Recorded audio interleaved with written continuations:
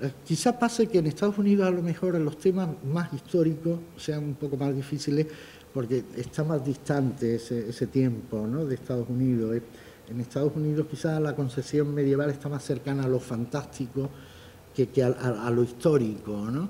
Y ese es posible que haya sido un hándicap para, para, para ¿no? porque Grimbo no contiene más elementos fantásticos que la piedra, ¿no? el sentido de poder mágico de la piedra como transmisora de, sabiduría, ¿no? pero no hay dragones, no hay eh, grandes, eh, grandes elementos fantásticos.